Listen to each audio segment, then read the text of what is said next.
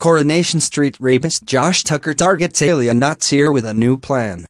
Coronation Street rapist Josh Tucker threatens to drag Alya Nazir into his sinister games next week. Josh Ryan Clayton considers starting a relationship with Alya in order to give himself a cover story if David Platt ever reports him to the police. Viewers have seen David, Jack P. Shepard, suffer in silence over the past few days after Josh drugged and raped him following a night out. Next week's episode. See David